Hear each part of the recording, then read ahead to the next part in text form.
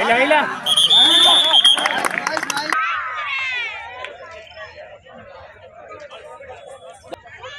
okay second runner up team. Name of the coordinator. କବାଡ଼ିରେ ଚଉତିରିଶଟା team ଆସିଥିଲେ। ସେଥିମଧ୍ୟରୁ ଆମେ ଫାଇନାଲରୁ ୱିନ୍ କରୁଛୁ। ଆଉ ଆମ ଫାଇନାଲରେ ଥିଲେ ନୁଳିଆ ନୂଆ ଗାଁ ସେ ବି ବହୁତ ଭଲ ଟିମ୍ ଆଉ କିଛିଟା ସଂଘର୍ଷ ମଧ୍ୟରେ ଆମେ ମ୍ୟାଚ୍ଟା ୱିନ୍ କରୁଛୁ। ଆମେ ବହୁତ ଗର୍ବ ଅନୁଭବ କରୁଛୁ। ଏହି ପ୍ରକାରର ପ୍ରତିଯୋଗିତାରେ ଆମକୁ ଭାଗ ନି ପାର୍ଟିସିପେଟ୍ କରିଥିବାରୁ ଆମକୁ ବହୁତ ଗର୍ବ ଅନୁଭବ କରୁଛୁ। ଆଉ ସରକାର ବି ବହୁତ ଯୁବପିଢ଼ିଙ୍କ ପାଇଁ ଉତ୍ସାହିତ କଲା ଭଳିଆ ଗେମ୍ କରୁଛନ୍ତି।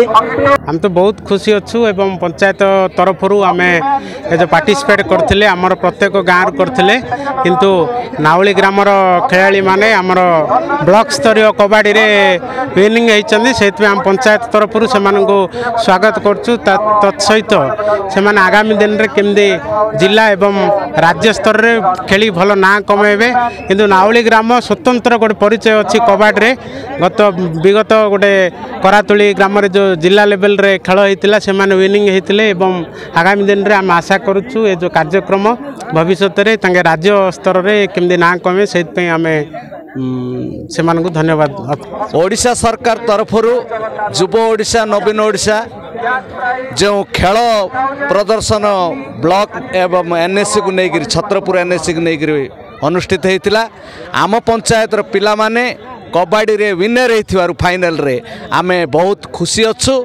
ଆମ ପଞ୍ଚାୟତ ତରଫରୁ ଏଭଳି ପ୍ରତିଭା ଏଭଳି ଖେଳାଳିମାନେ ଆଜି ଯୁବକମାନେ ବାହାରିକିରି ଅଞ୍ଚଳର ନାମ ରୋଶନ କରିଛନ୍ତି ଏବଂ ଆଗାମୀ ଦିନରେ ମଧ୍ୟ ଜିଲ୍ଲା ସ୍ତରୀୟ ଯେଉଁ ଖେଳ ପ୍ରତିଯୋଗିତା ହେବ ରାଜ୍ୟ ସ୍ତରରେ ମଧ୍ୟ ସେମାନେ ଖେଳିକିରି ଆସିଛନ୍ତି।